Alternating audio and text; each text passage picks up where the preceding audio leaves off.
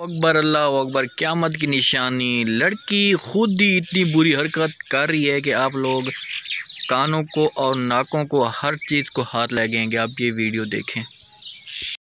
लड़की खुद नंबर फेंक रही है। आप देखें ये वीडियो। देखें, फेंक के जा रही है।